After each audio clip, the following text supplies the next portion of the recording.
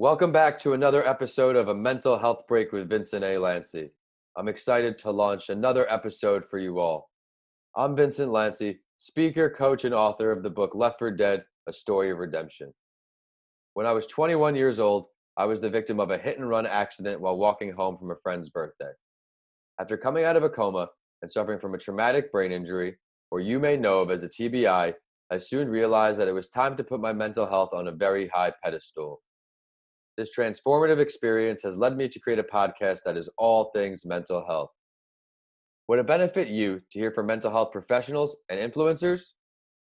Would it also add value to your life to hear mental health advocates share their authentic stories and talk about their mental health, the issues they face, and how they actively combat them? If you answered yes to any of those questions, you came to the right place. I want to start by congratulating you for making your mental health a priority. If you missed the last episode, be sure to download it after you tune in today. On this episode, I am happy to introduce my two guests, Charles Hamilton and Courtney Macroberts, and they are streaming at us from Nova Scotia.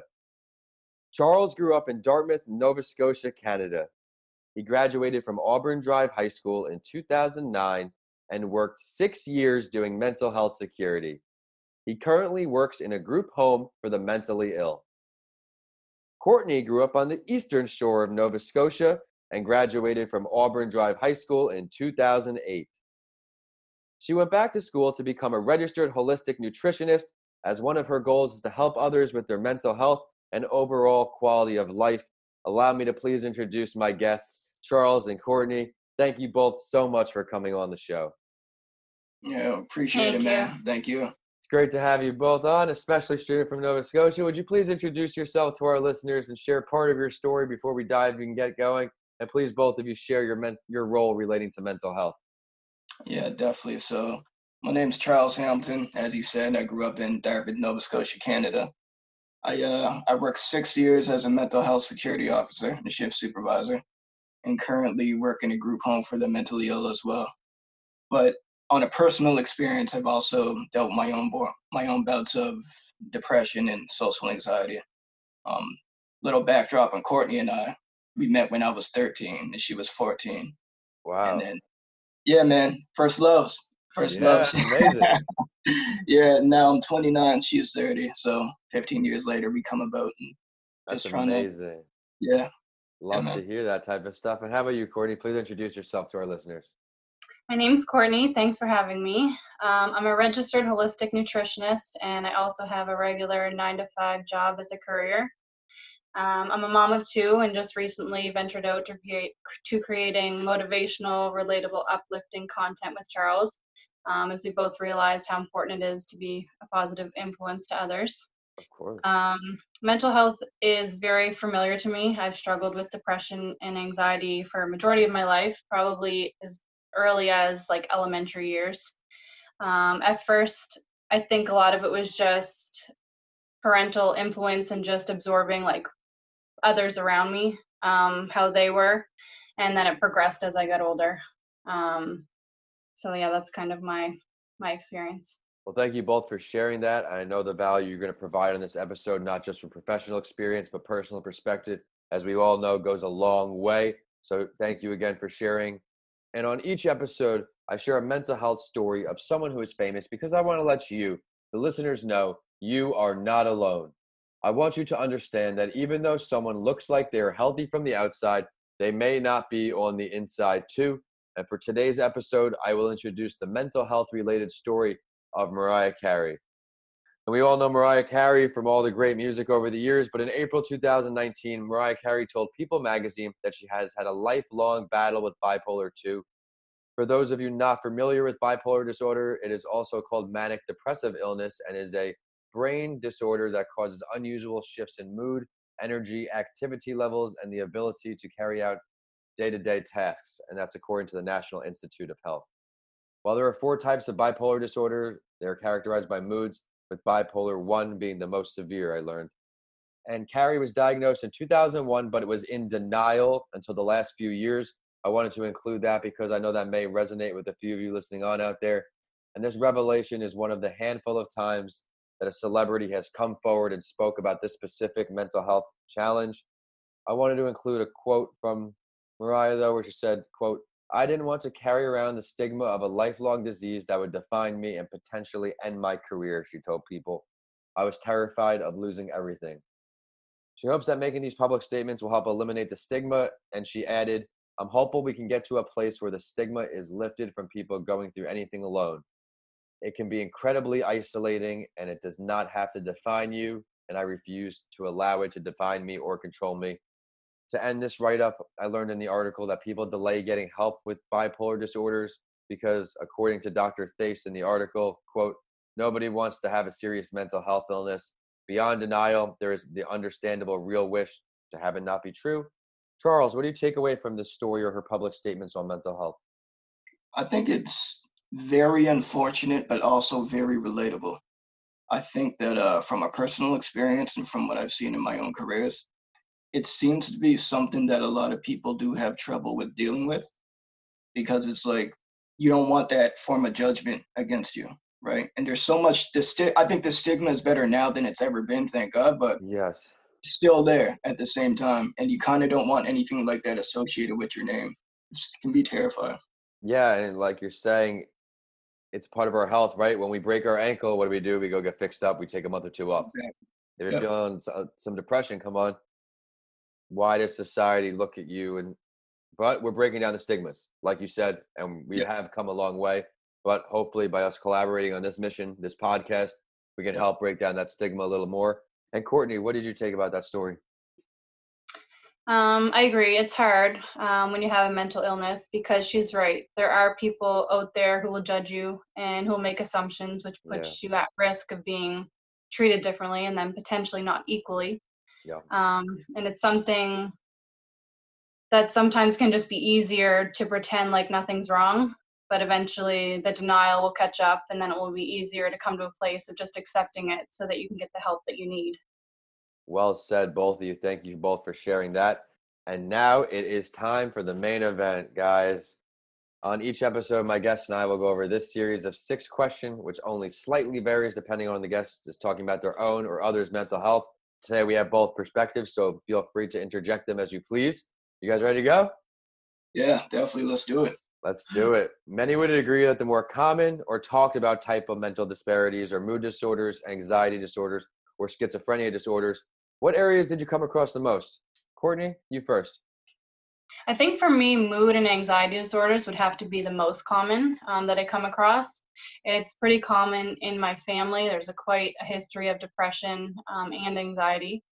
It was pretty much like a complete norm growing up in our household and as i mentioned earlier played quite a big role in my life as well um, and still does for me it never really went away per se but you just find better ways of dealing with it and the more you become familiar with it and recognize the signs you realize how many people are affected by it on a regular basis that's a great way to put it and i'm sure we're going to get into those specifics as we go through the show so i'm excited to learn but how about professionally speaking what type of mental health disparities are you coming across the most? So, for me, what I've seen most is schizophrenia. I've seen that across. Yeah, let's talk about that. And then all, across all different types of spectrums. So, I've seen it to the point where, you know, when people think about schizophrenia, they think of like the craziest thing they can probably ever think about, like the shit you see in movies. You know right, right, right. I've seen it on those spectrums personally, but I've also seen it on levels where I couldn't tell the difference between that person and myself.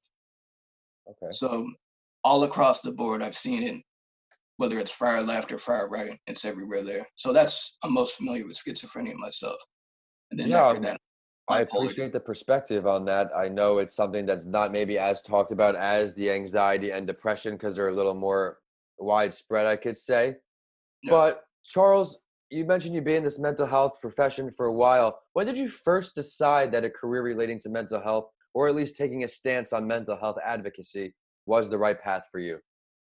So when I first got involved there, it happened on fluke because my brother was working there, and okay. he got me a job there. And I guess the advocacy came once I realized that the people I'm seeing surrounded all around me were not much different than what I am. And if anything, a lot of them were more relatable to me. Like we were more alike than we were different. And I didn't realize that going into it because I thought I believed the stigma too until I seen it firsthand. I seen people in there that were just really stressed out, like I get. People in there that were going through depression, like I have. Um, anxiety, like I have my own forms of anxiety as well. hmm And I think I don't even think Courtney knows this. One of the biggest reasons why I think mental health, like taking a, a stance on it, is because I have a cousin and like we're really close. And he's had for the last couple of years dealing with suicidal thoughts. And there were times where it got really scary and But glad he confided in me. But he told his father once, and his father told him that he needs Jesus and he needs to go to church. And that's all he said. All he said. And that blew my mind. I could not believe my uncle said that. I couldn't believe my cousin was telling me that. And right then and there, I realized like the old school ways to think is like people need to speak up about this more often. you know what? It's I'm glad you said that. That generation, you're a man. You muster your emotions and you move on. And I think in one of the mental health stories in the beginning of the show, I believe it was Kevin Love, the NBA basketball player, who said something similar about you know musking his feelings. And it's a shame, but again, stigmas are just slowly being broken down. Now, in five, ten years, the progress that'll be made will be significant, I'm sure. But we just need to continue to do our part. And Courtney, when was that moment for you? I would say I realized it when I was like at my own personal lows, like lowest of lows. Um, when I felt like no one understood, no one took me seriously. When people would ask, like, what's the big deal? Like it was just something I could just snap out of. Right. Um, like at those moments, I realized that it needed to be talked about more and I needed to start sharing my experiences and my stories and struggles so people could have something that they could relate to hmm so they wouldn't feel so alone. Um, I think that's the key. Like when you're having a hard time dealing with mental health, you need to feel like someone understands, is relatable, you're not alone, will listen to you, and will support you. You couldn't be more right. People that don't resonate with that feeling think it's just a feeling like a laughing or a watching TV. It's they Yeah, don't they, they, they can't put themselves in those shoes. Do you remember Yeah. what your first experience of advocacy was? Your first initiatives? What were you doing to raise awareness? I think for me, I just started talking about it. I, it's gonna sound crazy, but No, I mean you're that's- right. It's all it is. is just talking. Well, when when when that happened with my cousin in particular, I did not hold. Like I care about him a lot. Like, that's I pretty much called my family out. Yeah. E- Everybody just seemed to be like nonchalant about it. Like it wasn't a big deal that he told him to go to church and he needs Jesus. That blew my mind. So like everyone surrounding my family, I really called them out on that, and I didn't hold back whatsoever. I think that's the first time I can remember like a huge stance that just really, Yeah. I guess, started for me. That's Well, I mean. I'm, I'm, it's unbelievable, and the courage that you took to. It's in any situation, no one ever wants to be the odd man out, making the perspective that no one agrees with, and you raised awareness right then and there, and I'm sure, I'm sure they remembered what you said as you were Yeah. so passionate about it. But Courtney, what advice can you give to our listeners as what may be considered a potential early sign they may be starting to develop a mental health disparity? Um, there's always like the general ones, like losing interest in things you normally enjoy, not having motivation for the things that like used to fuel you, Yep. fuel you. Um, wanting to sleep more, maybe a change in appetite. Um, I realized something was off with me when my thoughts seemed like distorted or habitually like negative and dark, maybe withdrawn, and like the feeling that I was kind of like losing my sense of self. I wasn't really recognizing myself anymore. Yeah, Charles, what advice do you have? Uh, I would say for me, it was noticing I wasn't, uh, I was losing a lot of sleep. I think that's a huge one for me. I wasn't sleeping well at all.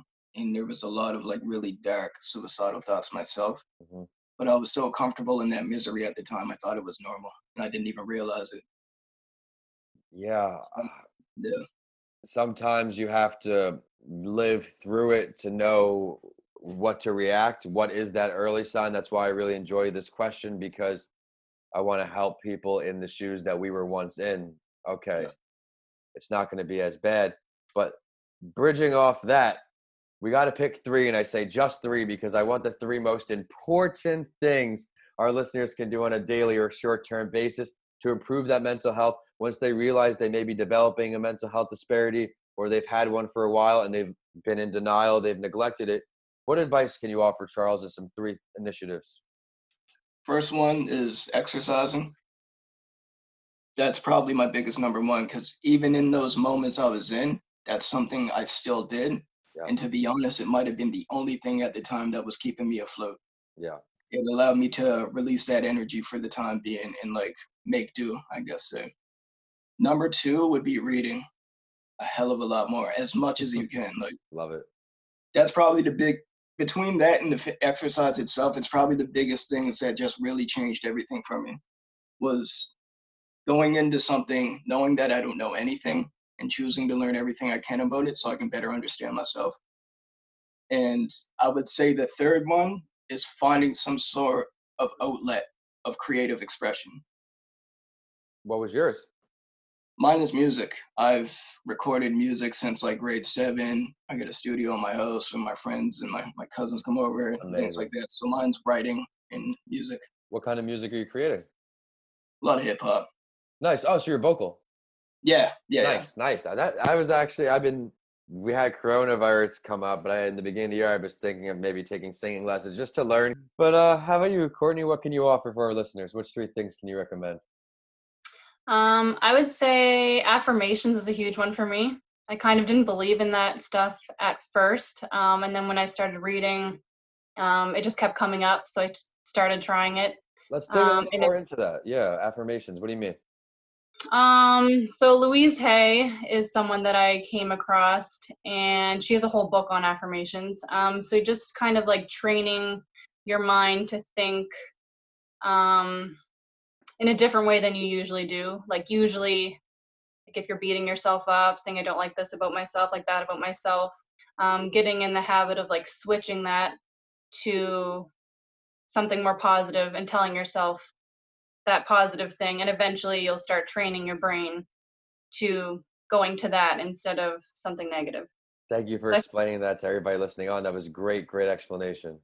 yeah so that that has been like a super um, positive thing for me on a daily basis um, also journaling has been a huge part of my journey like letting my emotions out writing them down identifying them um, it seems to be like a good outlet for me and also exercising we have that in common um, like whatever that looks like to anyone else like if it's Yeah. yoga or working out or walking um, i find for me that instantly makes me feel a hundred times better Yeah, I'm glad you both um, mentioned exercise. I think it's important for everybody listening on to understand that working out may be more important for your mental health than your physical health, in my For sure. opinion. What's your guys' stance on that?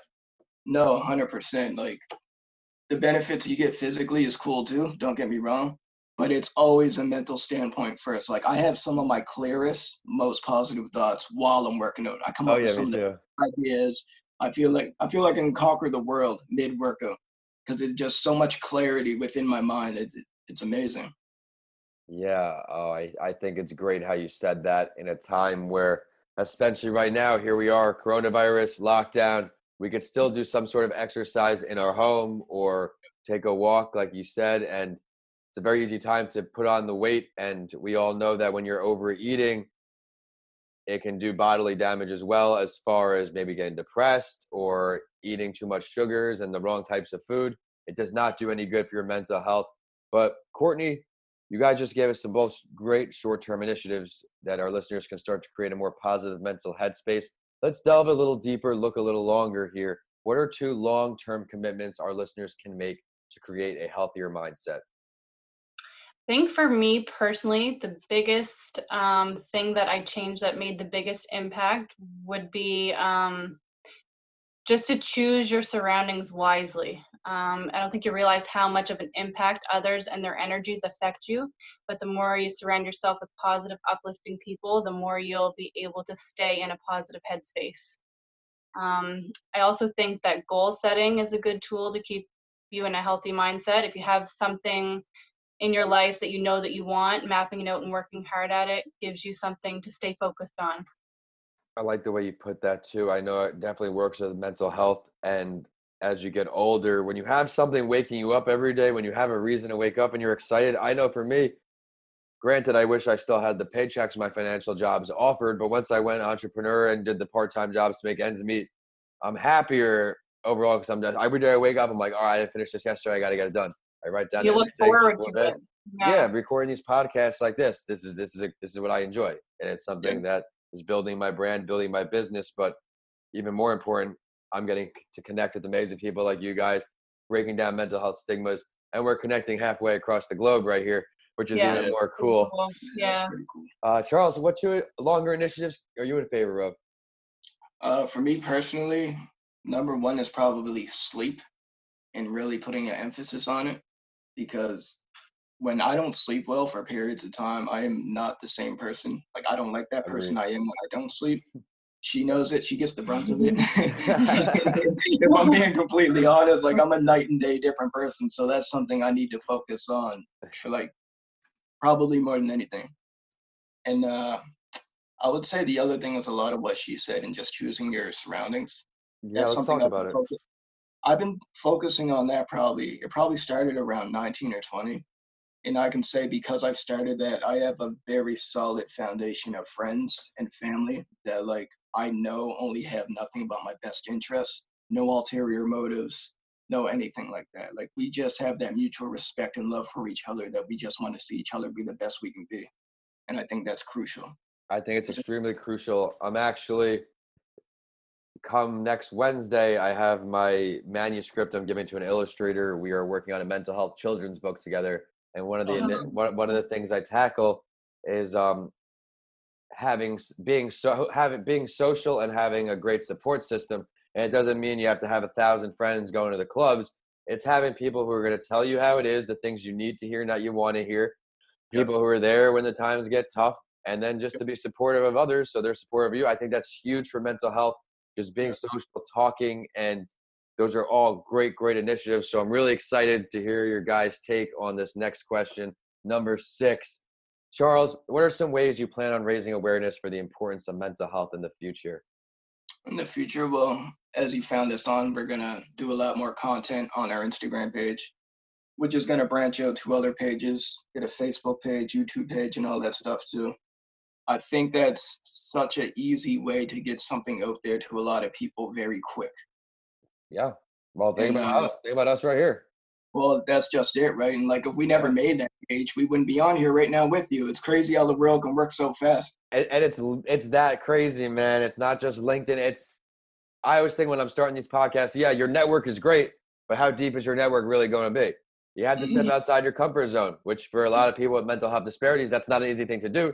You step out and say, "Hey, I see your page, and I think we got obviously I- something you guys are similar gonna going be on. A few weeks away, Make it happen. So if you're still So that's a getting great your way to social say it, media up yeah. and running, I'm not going to record this, obviously. I'm saying, And I Courtney, can what, check what back are you with working on? when You I'm be working with him on this? Do you have anything If else want, going if you on? want, we'll just zoom for a couple seconds, or you can Um, send me uh, like a voice memo on your phone. Mainly the Instagram right now, like, just just kind of you know, starting check out us out where this. we're gonna go way, with um, it. Um, 'cause we want to guys are still inspire raise awareness and share our stories, Yeah, so um, I, I can help others with their journeys. I'm, I'm Um, gonna I do that also want to Yeah, yeah. integrate and the and the bottom more part's just me focus talking, so I on can- I do mental health and the Well, emotional how- what'd you guys side think? of things with my That knowledge was of That holistic was healing. awesome, man. Um, Yeah, I when I went you to guys when you're school, I kind of um, was on like a It's one track you know, you're just talking about your own story. mind of thinking No, you're just like, really like comfortable to um healing and to benefits It's great. to Yeah. you only Yeah, I mean, I'll tell from you when I first started doing this, I'm, I'm just food talking on a and microphone. supplements and those the types of headphones, things, it's and so I just different realized, like, editing how and things. And the as mental an and entrepreneur, you want to learn how to do it things all, and you can't afford to Um, have so people when I get doing it. practicing So that, the other Yeah. kind of podcast like I started first, the entrepreneurs on one, the I mental part committed of to three a week. Little did I'm I know how much seeing work it was to both are gonna record three a week, edit before three get a week, next part, social media for three more a week. So I was holistic just like side of mental health. Dying out. Now we're just one a week on both down on that angle. allows me to If you want to maybe not give a few key die and I have takeaways for everybody inventory, listening on who may not be nice. as familiar But I'll keep you guys posted. I have a note here. Check in with you both for the Um, social so media. like We'll the holistic, send me a thing. um, Um, if you guys the will do me a holistic favor, I've healing been part slacking. things. And if you um, guys can rate the is like podcast five stars on the however whole you listen part. to and leave a Um, little so a lot of people like recommendation about how our, our day on went, just how our like meeting food, went. just sure. supplements, That would be really, really just appreciated. I like was the I've issue that you have so at long, hand, and they they, uh, I know they need focus to be more on it. proactive about it, so I Um, appreciate but it. like a lot Yeah. of and if times, you have any other friends that would want to share their like story, I try to keep the show going can off be, referrals, though I um, know they're a good like for you guys. yourself It's that tough for me to get a good yet. show, Um, cold like, calling. You know, Personally, cold for me. I've had health And issues for like it. as So, long um, as I can when I remember, check in with you for the uh, social media info, if I don't hear from you by then, different um, kinds I'd love to, you know, and put at on the one of end your of my friends, give them an interview, journey, give them like, good marketing for their content I'm looking well. at it and I'm just like, Okay. why am I not getting better? why am I not getting better? And I think we'll go the over that mental get closer to time. health part of it uh, was thanks so the, much for your time, guys. You're awesome. being held Great. back. Thanks so much. Thank you, really man. We getting better. I think it's a such great an day. overlooked You too. Too. of of your health. I think you can do everything right, but as long as your mind's not there and um like your your emotions aren't where they should be and you're not you're not 100% in your mind, I don't Mhm. think you can um like move forward with much else. I appreciate the insight there. And Charles, Courtney, thank you both so much for coming on. I know our listeners are going to see all the value in your show today. I really loved how you both had exercise just because we are in the quarantine and it's not just about your physical health. So we were able to shed light on that. I loved how we talk about in the beginning, Charles, that story that made you really come to the mental health world. And Courtney, how you have the same passion that's stemming from years of studying health, learning from your both personal and professional experiences the advice is invaluable on this episode, so I am very thankful you both decided to join me on this show. But it is time for the last word, and I do this on my other podcast series that I have, what it's really like to be an entrepreneur as well, because I want our listeners to really get to know the guests I bring on. Is there something that you would like to share with the listeners that we did not get to touch on yet today, Courtney? Um, I think I'd just like to give my last word of advice. Um, like, don't give up. Uh, for every reason that you feel like you can't go on, there's always 10 more reasons why you can. Um, never give up on yourself. Give yourself compassion and love yourself even on the days where it might be really hard. Find a good support system. Um, like with or without mental health issues, this is so important. Mhm. Read, write, find your passion, make the best out of life.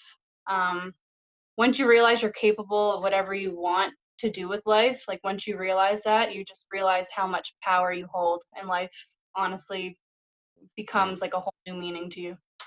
Well said. Thank you for sharing that. Charles, your last word, please. I mean, after she just said something like that, I don't know how to compare it. It's kind of a crazy top up. No, I would just say uh, it's important for people to know that they're not alone. And even if you like, even if you have come to people and they just don't understand it, don't get Mhm. discouraged because it doesn't mean that there's not people out there that can relate to you and can help guide you and get the help you need. I guess Well it does come again. finding that support system. Yeah, you both just gave two outstanding last words. I don't know if one was better than another, and you you came close, Charles. So yeah, she got it. She got it. awesome. Well, now I know you both share the Instagram account that I found you on, but would you be imply share please sharing that account and any other social media website or ways for our listeners? You can find us on our Instagram account at Charles and Courtney, and you can also find us on our Facebook page at Charles and Courtney. And it's social media time, and we're on whichever platform you like to use. It's a mental health break on LinkedIn, Instagram, and Facebook. And on Twitter, it's podcast by Lanci, so you get updates from this show and what it's really like to be an entrepreneur. Of course, my handles are at Vincent A. Lanci on all social media and YouTube, and my website is vincentalancy.com. If you check out my books, DM me. I'd love to hear from you.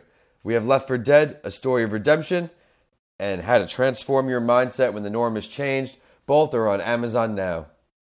If you enjoyed today's episode, please continue listening and rate a mental health break with Vincent A. Lanci five stars. I work hard to find value delivering guests for you on each episode. Thanks for listening, and I'll see you all on the next episode of A Mental Health Break with Vincent A. Lanci.